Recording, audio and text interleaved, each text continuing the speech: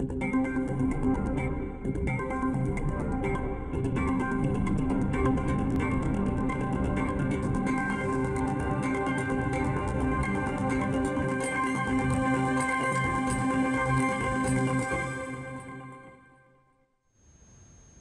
Jó estét kívánok! A Kecskeméti Televízió hírórájában ez már a kiemelő.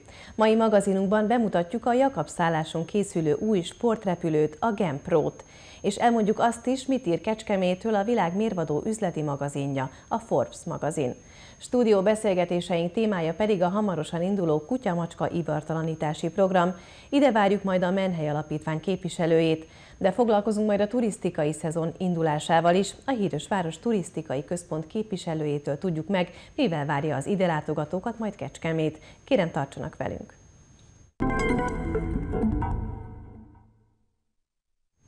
A világon egyedülálló műrepülőgépet mutattak be tegnap a Jakab szállási repülőtéren. A magyar mérnökök fejlesztéseinek köszönhetően a gép törzsét a világon egyedülálló módon acélkarbon hibrid térrács szerkezettel alakították ki, amelynek révén jelentősen csökkent a kisrepülő tömege. Az elsősorban külföldi piacra szánt gép sorozatgyártását a kormány 250 millió forinttal támogatja.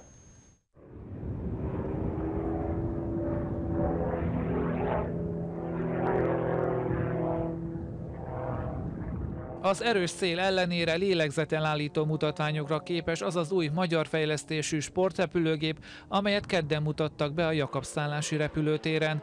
Az egyszemélyes kisgép gyorsan, magabiztosan és stabilan hajtja végre a pilóta utasításait. A gépet Besenyei Péter világ és Európa bajnok műrepülő pilóta hónapok óta teszteli. Neki is köszönhető az, hogy ma már szinte tökéletesen szeli a levegőt, és készen áll a sorozatgyártásra. Hosszú út volt, sok munka volt. Én is a géppel repültem vagy 6-7 alkalommal, mindig elmondtam, hogy mik a tapasztalataim, mi az, amit én érzek, és mi a tünet és akkor a fiúk pedig dolgoztak rajta, úgyhogy a repülőgép most már jó. Hát annyi, hogy amit most láttak, az még nem az én formám, mert még a géppel nem vagyunk összehangolódva, az kicsit többet kéne repülni. El volt a géppel a hatodik felszállásom, és ilyen beállítása meg az első igazából, de ezt nem lehet látni, a repülőgép mire képes, és mennyire szépen forog, mennyire könnyedén mozog, úgyhogy a, a, a Generation mindenképpen nagyon jó munkát végzett.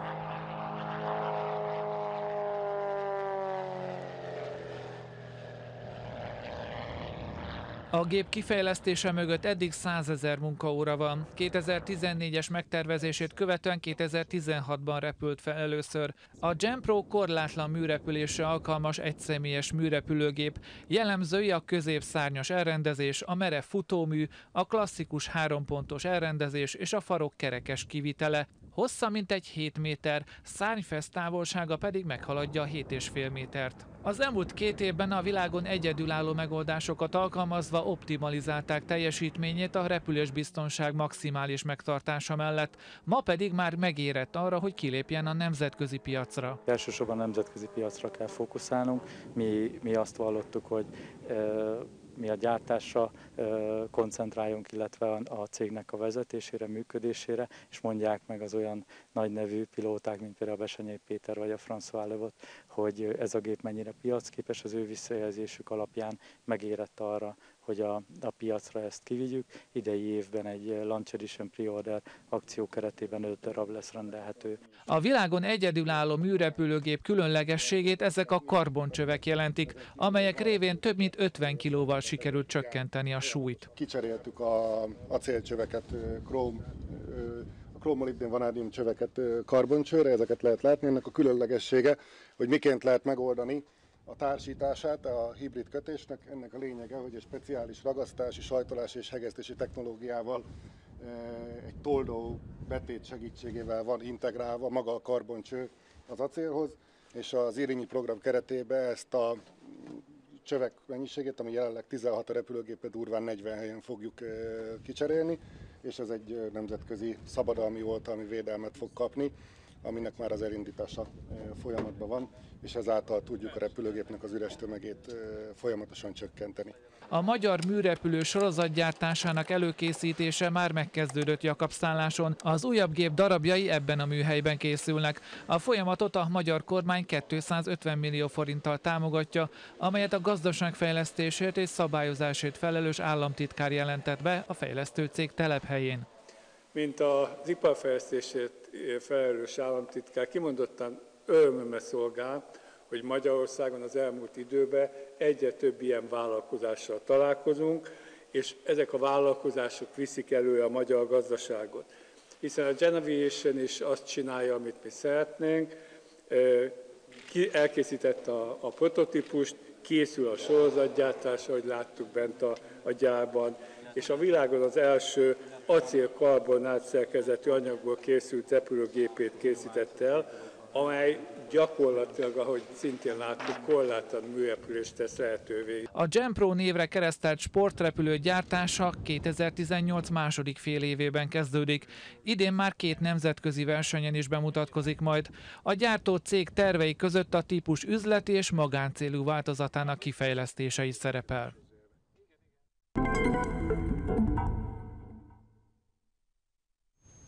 Hétfőn indul a Menhely az Állatokért Alapítvány ivartalanítási programja Kecskeméten.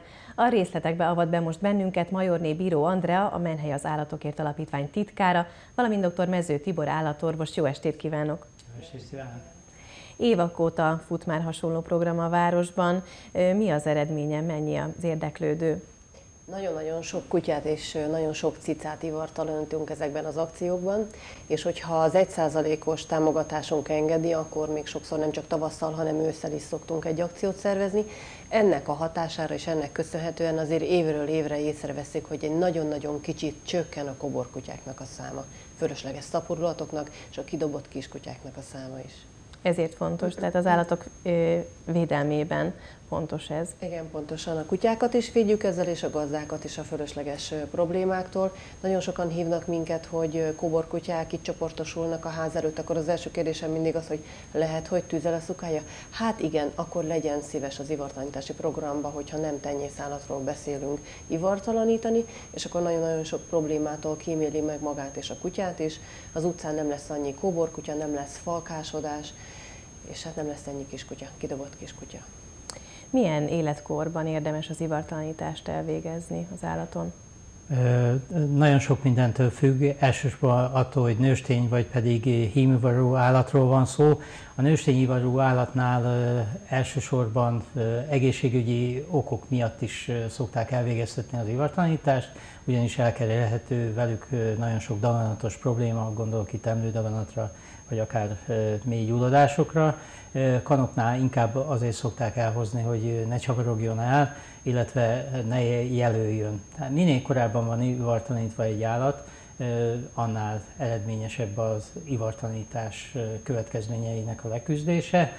Értem ez alatt, hogy az ivarérés körül a nőstényeket megoszlik a vélemény, hogy most ivarérés előtt, vagy kicsivel utána, tehát az első tüzelés előtt, vagy utána, gyakorlatilag egy olyan 6-7 hónapos kortól nősténykutyáknál az ivartanítás el lehet végezni, kanoknál pedig akár 4-5 hónapos korban is meg lehet ezt oldani. Ugyanígy macskáknál. Az előbb említette a pozitív következményeket az állatok egészségére, de sok gazdi fél, hogy ilyenkor elhíznak az állatok esetleg, vagy hajlamosabbak lesznek a betegségekre. Oszlassuk el ezeket a tévhiteket. Igen, sokan azt gondolják, hogy elhíznak, illetve az, hogy megváltozik a viselkedésük. Tehát esetleg nem ragaszkodik annyira a gazdához, mondjuk itt konkrétan macskára gondolok, vagy kutyánál, hogy nem fogod annyira szót, ebbe lehet valami, de ennél több káros következménye nem lehet, nincsen, hogy esetleg egy daganat kialakul, ennek a megelőzése szerintem a legfontosabb. Egyébként az elhízás meg a gazdán múlik. Tehát vannak most már olyan tápok, hogyha valaki tápal, táplálja az állatait, amelyek kimondottan ivartanított állatoknak szól, és elsősorban a gazdán múlik, mennyit mozog avval az állatta, hogy elhízik vagy sem. De olyan káros következménye, ami megrövidíteni az életét, olyan nincsen, sőt, az ivartanított állatok bizonyíthatóan tovább élnek, mint a nem ivartanított állatok. Pontosan miből áll ez az akció, hogyan járul hozzá a költségekhez az alapítvány? Évek óta úgy szervezzük meg ezt az egész akciót, hogy kb. 10, most jelenleg ebben az évben 11 állatorvosi rendelővel vagyunk kapcsolatban, meg vannak hirdetve ezek a rendelők, mindenki oda megy, ahova szeretne, amelyik orvosba bízik, ahova jár, és mivel mi bizonyos településekkel kapcsolatban vagyunk, vannak olyan települések, ahova például nagyon-nagyon sok kutyát fogadnak tőlünk örökbe. Ezeket a településeket részesítjük kedve, kedvezménybe Kecskemét mellett, akik ott laknak, ott rendelkeznek lakcímmel, lakcímkártyával, ők tudnak ebbe az akcióba részt venni, tehát az ország túlvégéről, vagy Budapestről, vagy Debrecenből nem tudnak idejönni, ivartalanítani. Tehát mi szeretnénk azoknak az embereknek egy kicsit visszanyújtani, akik kapcsolatban vannak velünk, akiktől az 1%-ot kapjuk. Ugyanis, hogyha nem kapunk 1%-ot, akkor nem tudjuk ezt az akciót megcsinálni, nem tudunk ivartalanítatni, és ez a gazdáknak se jó, nekünk se jó. Tehát ezekkel a kapcs- településekkel kapcsolatban vagyunk, ott laknak az emberek, telefonálnak hozzánk, kupont igényelnek, és ezzel a kuponnal tudnak elmenni az általuk kiválasztott állatorvoshoz. A minden, minden kutya esetében ugye kankutyáról és szukakutyáról beszélünk, különböző a támogatás mértéke, és most bízunk idén egy kicsit abba, hogy a macskások is fognak minket az 1%-kal támogatni. Macskákat is belevettük idén az akcióba, és az ő ivartalanításokat is segítsük egy kicsi összeggel. A Menhely az Állatokért Alapítvány honlapján, gondolom, utána Megtalálható lehet a honlapon, a Facebookos oldalunkon, és reklámozzuk minden médiában. Pontosan mettől meddig tart az akció? Hivatalosan hétfőtől indul, de már ma elkezdték a kuponokat igényelni, és hát ugye majd meglátjuk, hogy meddig tart a pénzünk. A forrás tehát véges, úgyhogy az egy százalékot, ahogy az előbb is említette, várják Igen, ez, ez az egyik nagyon fontos, tehát az egy százalékot azért gyűjtjük, mert nagyon-nagyon-nagyon sok sérült és beteg állat kerül be, és egy részét pedig vissza tudjuk a lakosságnak ebbe a támogatás formájába fordítani. Segítsünk nekik. Most ez az ivartalanítási akció a kutyáknak és a macskáknak szól, és hát hogyha a forrásuk engedi, akkor, akkor ahogy az előbb említette, az év másik időszakában is lesz Igen, majd ilyen. hogyha van rá lehetőségünk, akkor ősszel is fogunk egy Jellemző, hogy egyéb állatokat is Nálunk nem. Van másik alapítvány szintén itt térségben, akik csinálnak ők is ivartalanítási akciót, ott inkább, ahogy a doktor úrral most épp egyeztettünk, ott például a kisállatokat ivartalanítottak. Ez alapítványonként változik, ők inkább arra vannak ráva, ő nekik azok az emberek támogatják őket, és ővelük vannak kapcsolatban. Mi, mivel az ebrendészetet vezetjük, mi inkább kutyások vagyunk, úgymond, de nagyon-nagyon sok cica, több száz cica kerül be hozzánk egész évbe, és én nyilvánvalóan a tavaszi-nyári szezonban, úgyhogy én bízom benne, hogy a cicások is egy kicsit fognak minket támogatni, ezáltal elérjük azt, hogy nem lesz ennyi kóborállat Kecskemét térségében. Illetve jön a jó idő, ilyenkor talán többen is vesztek magukhoz állatot örökbefogadásra. Bízom benne. Téli szezonban nagyon keveset fogadnak örökbe, és most jön majd a kert és a hobbi szezon, amikor majd mindenki kimegy a kertbe, és ja Istenem, kell a kertbe egy kutyus, bízom benne, úgyhogy várunk mindenkit szeretettel. Minden kertbe kell egy kutya, és minden kertbe kell egy menhelyes kutya. Köszönöm szépen, hogy eljöttek. Köszönjük. Köszönjük.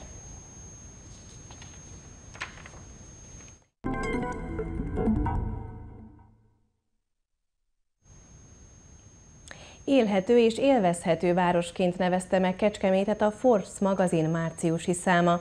A világhírű üzleti folyóirat magyar nyelvű kiadása 8 oldalon keresztül tárja olvasói elé azokat a nevezetességeket, kuriózumokat, amelyek miatt érdemes itt élni és dolgozni. Monumentális középületekkel, színes háztetőkkel, tornyokkal övezett városrész. Ez jellemzi Kecskemét különleges főterét a Forbes magazin szerint. A világ meghatározó és mérvadó üzleti lapja kiemeli, hogy a városháza környékét több kisebb különálló tér jellemzi, ahol számos vallás is képviselteti magát a templomok révén. Ha az ide látogató a Rákóczi utca felé indul, melyet Móris Zsigmond az ország legszebb útvonalaként nevezett meg, találkozhat a híres zöldablakú cifrapalotával. Barack Pálinka vasútállomás, vagyis Kodály szülőháza, csárdák, Eddig főként ezek jutottak eszébe először a turistáknak Kecskemétről. A Forbes magazin márciusi számában azonban számos újdonságot, kuriózumot neveztek meg, amelyek által élhetővé és élvezhetővé válik az Alföldi megyeszékhely. Bagatel étterem, Bozsó gyűjtemény, Spaletta étterem és sörház, Kecskemét film, Cvak Pálinka Manufaktúra, 48 étterem és bár, Leskovszki hangszergyűjtemény, Teka, csak néhány azon helyszínek közül, amelyek az utóbbi időben még inkább fellendítették a híres város kulturális és gasztronómiai életét. Az üzleti magazin szerint befektetésekből és munkalehetőségből sincs hiány. Az autóipar virágzik a Mercedes révén, az itt élő emberek szerint pedig csak az nem dolgozik, aki nem akar. A városba fektetett energiát, időt és pénzt ezek bemutatásával ismerte el a világszerte ismert Forbes magazin.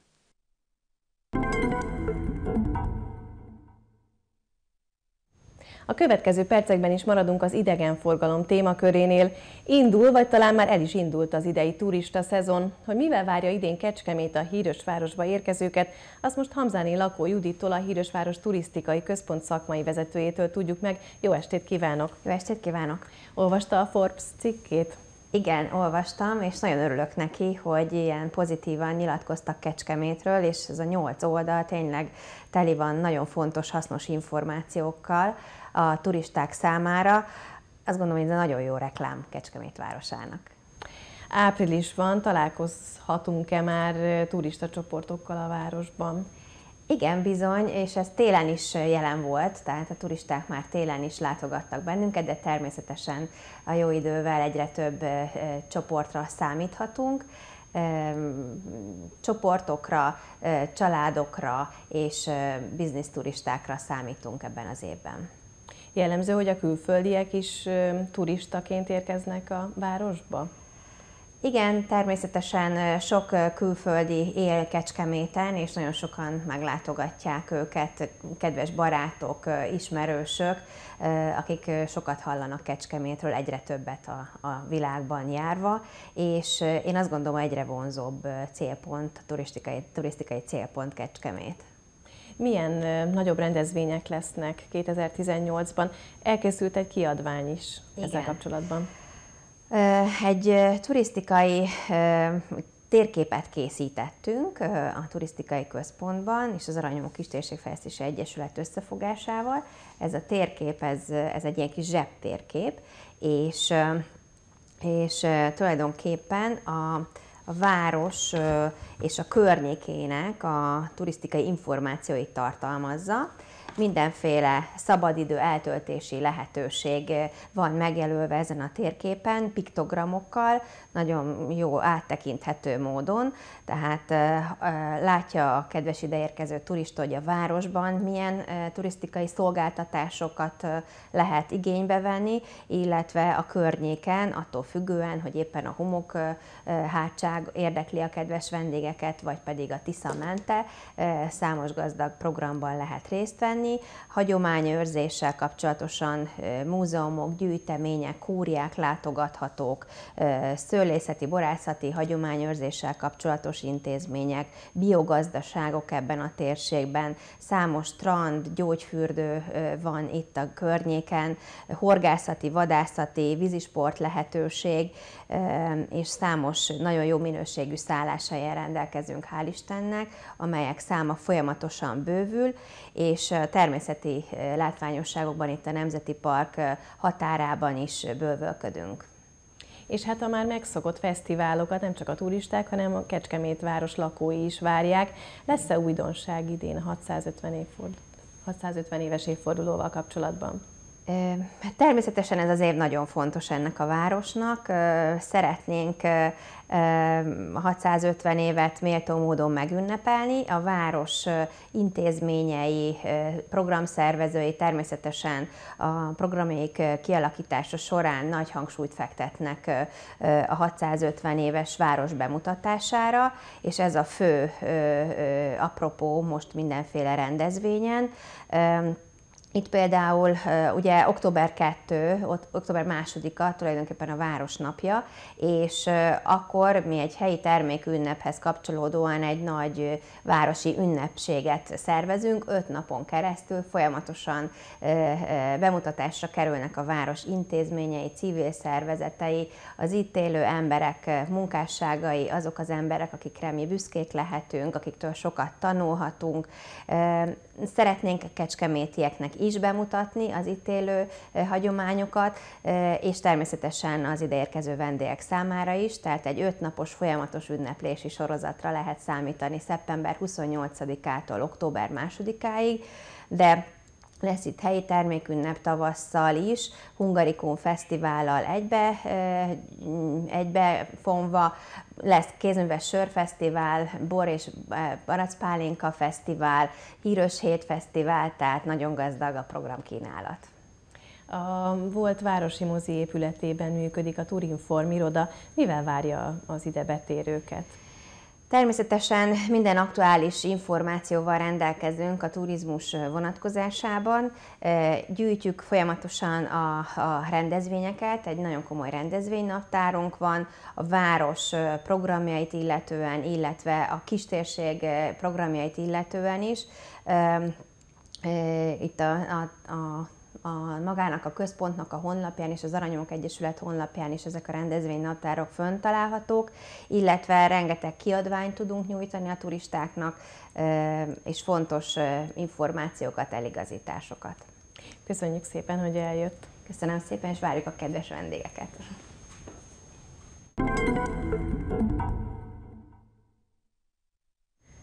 A kiemelőben minden nap egy-egy tematikus műsorral várjuk Önöket, ma nyugdíjas magazinunkat, a Siestát láthatják.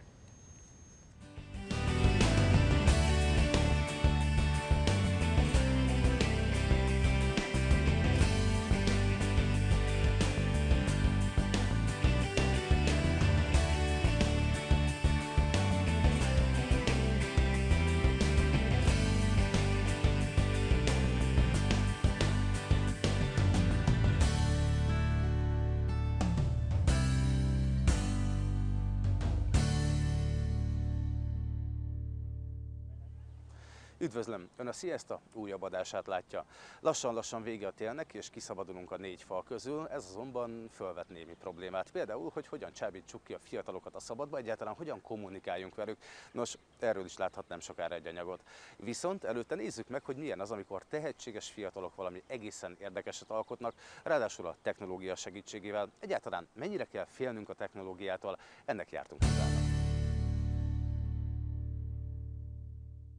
A Bányai Júlia Gimnázium három robotprogramozó csapata is bejutott az országos robotprogramozó verseny döntőjébe. Több mint száz csapat küzdött a tovább jutásért a hétvégén Kecskeméten. Egyértelműen kijelenthető, hogy ők ifjú tehetségek.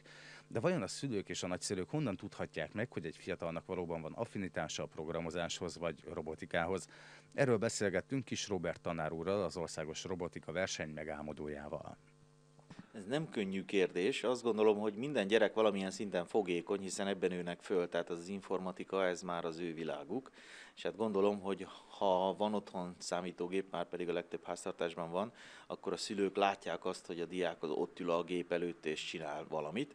Na most nyilván laikusként elég nehéz azt megítélni, hogy egyszerűen csak a, az egeret nyomogatja-e, vagy valami nagyobb szellemi kihívást igénylő tevékenységet végez. Azt gondolom, hogy kisgyerekkorban ez majdnem mindegy még. Az, hogy most csak játszik a számítógéppel, vagy az interneten zenéket hallgat, vagy esetleg egyszerű mesefilmeket, vagy videókat néz, ez nem probléma, csak barátkozzon a számítógéppel. Azt, hogy ő esetleg algoritmizál és programoz, ez magától nehezen szokott elindulni ezen az úton az ember. Tehát ehhez kell némi külső segítség, akár egy szülői támogatás, akár csak olyan szint, hogy megkeresni azt a fórumot, ahol elkezdheti ezt az algoritmizálást, ezt a programozást, és utána, hogyha a, a fiatalok közül valaki rákapott ennek az ízére, és van hozzá tehetsége, akkor otthon is fog ezzel játszani. Mindenképpen kell foglalkozni az informatikával, ez a jövő tudománya. Itt nagyon sok tudós azt mondja, hogy az elkövetkezendő tíz évben a, a társadalomba, a technikai eh, vívmányok terén, vagy akár csak a, a szociális hálózatok terén, akkora változás fog bekövetkezni, mint az elmúlt 200 évben. Tehát erre a mostani generációt fel kell készíteni, és ennek a változásnak a motorja az az informatika és a robotika lesz. Tehát nem mehetünk el amellett, hogy a, az iskolákban nem tanítunk nekik valamilyen szinten komolyabb informatikát, nem csak a felhasználóit, hanem akár algoritmizálást, hogy belássanak a dolgok mögé, mert egyébként az egész megmarad egy varázslat szinten, és az meg egy nagyon rossz irány. Ehhez képest mondjuk azért vannak szülők, akik eh, inkább tiltják a gyereket a különböző technikai kütyüktől. Eh, pszichológusok is sokat vitatkoznak ezen, hogy most ez jó, nem jó, elég sok cikk megjelent, hogy eh, hogy ez a Facebookos, szociális hálós, informatikai jellegű dolog, ez rossz irányba viszi el a fiatalokat. Én azt gondolom, hogy a mértéket kell megtartani. Tehát az, hogy teljesen eltiltom a, a számítógépektől, ez, ez nem egy jó irány. Nem szabad nyakló nélkül és minden korlát és ellenőrzés nélkül hagyni hogy egy fiatal diák, hiszen nincs még érett gondolkodása, e, ilyen szinten játszon szabadon a számítógéppel, de időt és teret kell neki adni, nem maradhat ki belőle, nem fog boldogulni később, hogyha, hogyha kimarad az informatikából. És a robotika az pedig azért jó, mert elviszi egy olyan irányba, a számítógép használatot, ami ráadásul még hasznos is, és a problémagoldási, gondolkodási képességeit igen jelentősen fejleszti. És hát végül a szülő ne lepődjön meg, hogyha a kávéfőző magától elkészíti a kávét. Igen, ez ugye ez nem kuriózum, ilyen már létezik, csak nyilván ez még annyira nem gyakori, hogy ez minden háztartásban ott lenne, de hát az okos otthonoknál ez a központi vezérlésű lakás, és azon belül az egyes háztartási gépek, működő háztartási gépek, ez egy létező technológia, tehát ez nem annyira újdonság. Egy pillanatra elméláztam, hogy milyen jó lenne, hogyha magától takarítana a porszívó. Itt még nem járunk, viszont az, amit mondott, azért igencsak a felé terelte az én gondolataimat is, hogy akkor bizony nekünk szülőknek is fel kell zárkózni, hogyha ott akarunk lenni a gyerekkel, a gyerek mellett, és nézni, hogy mit csinál, egyáltalán miket használ. Azt gondolom, olyan szinten kell fölzárkozni a szülőknek, hogy felelős döntéseket hozni, hogy mit lehet a gyereknek, és mit nem, és mit később, és mit most. Tehát olyan szinten tisztába kell ezzel lenni, hogy igen, vannak az interneten veszélyek, igen, vannak a számítógépes játékoknak veszélyei, igen, vannak pszichológusok, akik azt mondják, hogy ez függőséget okozhat, igen, én belátom, hogy így van. A szülői felelősség az, hogy mit, milyen mértékben engedünk, de az abszolút tiltás az azt gondolom, hogy egy nagyon rossz döntés, hiszen erről szól a jövő. A szülőnek nem kell tudnia programozni, azt gondolom ezeket a robotokat vagy a számítógépet, neki igazán azt kell koordinálnia, hogy a diákoknak mit lesz érdemes megtanulni, és elterelgetni a saját gyerekeinek a, az útját az értelmes számítógép használat felé az öncélú billentyűzet nyomogatás helyett.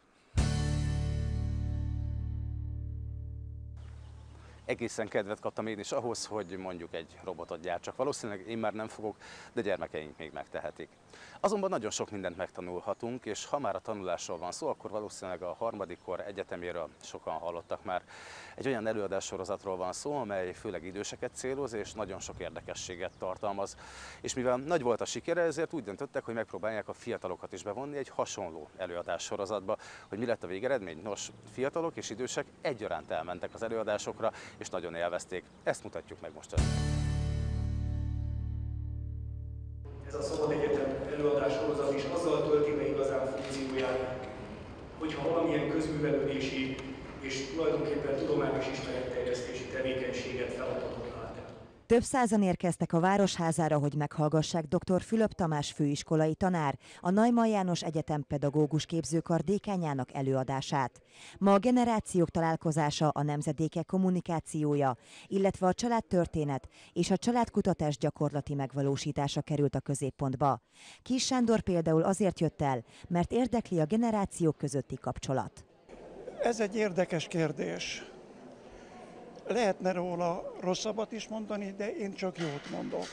Azért mondok jót, mert a felsőoktatás és az oktatási intézmények bővülő köre az egyértelműen azt jelzi, hogy a város fiatalabb lakossága is, és vagy a fiatalok is, az iskolázottak, az intelligensebb közé fog tartozni, és ez mindenképpen csak előny, előny lehet, szemléletbeli különbséget fog jelenteni, és ez a városnak és a város lakosságának is az előnyére fog válni. Kis Sándor azt is elmondta, hogy a Szabad Egyetem összes előadásán részt szeretne venni, mert szerinte nagyon érdekes témákkal foglalkoznak majd a szakemberek. Egy másik résztvevő Nagy Ádám szerint azzal, hogy megismerjük őseinket, lélekben tudunk fejlődni, hiszen megtudjuk, honnan származunk, és kik vagyunk valójában. Ez pedig megváltoztathatja az ember jellemét. Hogyha nem vagyunk tisztában a gyökereinkkel, nem tudjuk, hogy merre tartunk.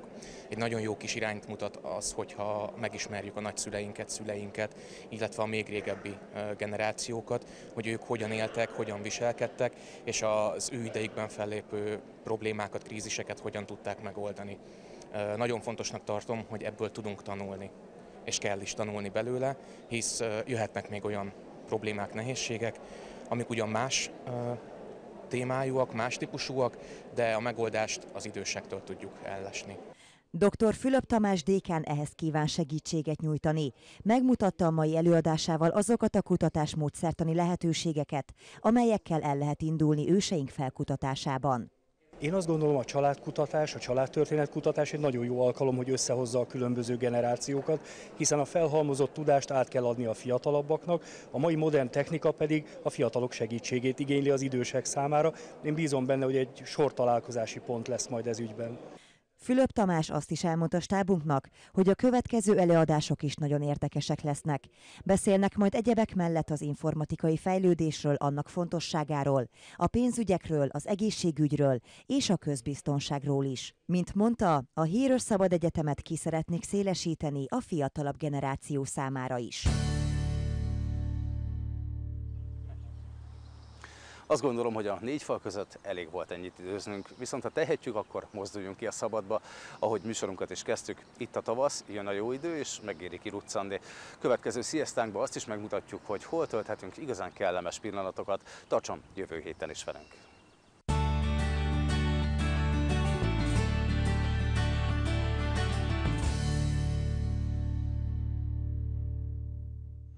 A híróra végén a nap legfontosabb híreit láthatják egy percben, következzen az Esti Gyors.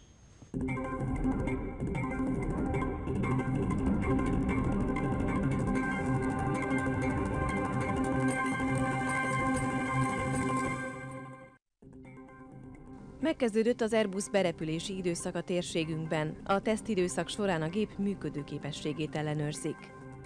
Vádemelést javasol a rendőrség egy 2016-os tornaórai baleset ügyében. A szakértői vélemények alapján megállapították a gondnok felelősségét. Megújult az Agrárkamara Kecskeméti épülete. A több milliós beruházásnak köszönhetően duplájára nőtt az ügyfélfogadó rész. Egészségügy, oktatás az összefogás szükségessége. Kecskeméten járt Magyurcsány Ferenc a DK elnöke. A világon egyedülálló műrepülőgépet mutattak be a Jakab-szállási repülőtéren. A gép törzsét acélkarbon hibrid hérrács szerkezettel erősítették meg. Élhető és élvezhető városként nevezte meg Kecskemétet a Forbes magazin. A világhírű üzleti folyóirat magyar nyelvű kiadása 8 oldalon keresztül foglalkozik városunkkal.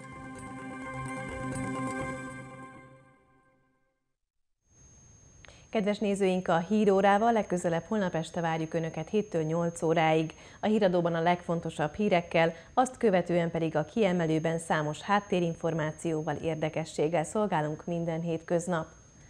Tartsanak velünk akkor is, köszönöm mai megtisztelő figyelmüket, viszontlátásra! thank you